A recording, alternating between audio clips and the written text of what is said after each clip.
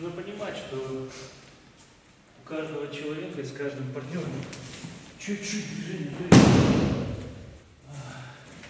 Использовать принцип, не использовать заученные за моторием движения, использовать принцип. Правильный ход.